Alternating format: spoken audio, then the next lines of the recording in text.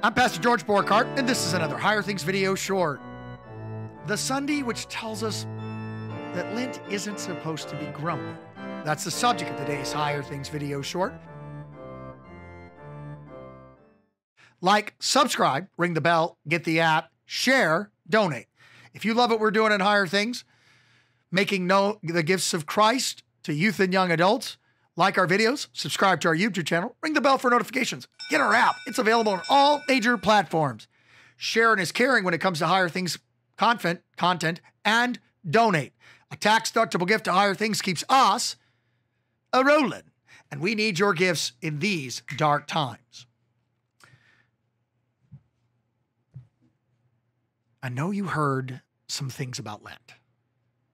And maybe you and Lent had a bad time. You know, maybe you were a former Roman Catholic and Lent was just guilt. And it was like somebody turned the knob of guilt to 11. Maybe you grew up thinking that you had to give stuff up and and act kind of serious in church for once. And this was serious business. Lent was. How does it fit from a, like an evangelical perspective, from a gospel's perspective? The fourth Sunday in Lent, which traditionally is known as Laetare from the introit, tells us that Lent has a joy, joy in it. There's a rejoicing in Lent. Let's take a look, at, look at that introit now. This is from Psalm, I'm sorry, Isaiah 66. Rejoice with Jerusalem and be glad with her, all you who love her. Rejoice with Jerusalem and be glad. You know the end of the story. You know how Lent ends. It ends with dead Jesus. And then you know the Easter gospel, the, G- the same Jesus that died on Good Friday rose again from the dead on Easter morning. You know that you died with him in holy baptism and that you raised with him to new life, a life no longer lived inside yourself or, or, or by yourself, but in Christ, in God, for others. Lent is a time of self examination, it's a time of repentance.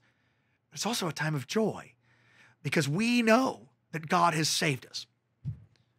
We know what Jesus did and who Jesus did it for and what Jesus did it for and why Jesus did it. The who, Jesus is, he's the Son of God. Who he did it for was you and me. Why did Jesus do that? Because of God's great love for us in Christ. What happened? He suffered and died. Having kept the law, he died where for all kept the law for us. He did what we should do before God. Then he died all the we for what we deserve. So God can't punish us anymore because he punished Jesus. The where? Good Friday, Jerusalem, the cross. I think I got all the questions there. And you know how that changed everything. The collect for today, for this week, really, really, really nails it. And I invite you to pray it with me. Uh, it nails that Lent isn't all about sadness, it's about a God who saves. And we who have been saved, rejoicing in that salvation. So pray with me, please. Almighty God, our Heavenly Father, your mercies are new every morning. And though we deserve only punishment, you receive us as your children and provide for all our needs of body and soul. Grant that we may heartily acknowledge your merciful goodness, give thanks for all your benefits, and serve you in willing obedience. Through Jesus Christ, your Son, our Lord, who lives and reigns with you in the Holy Spirit, one God, now and forever.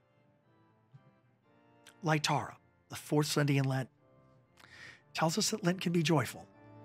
In Jesus, it has to be joyful because the one who's doing the Lent for us is the one, Jesus, who died and rose for us. He lives, now we live too in him. I'm Pastor George Borghardt, and this has been another Higher Things video short.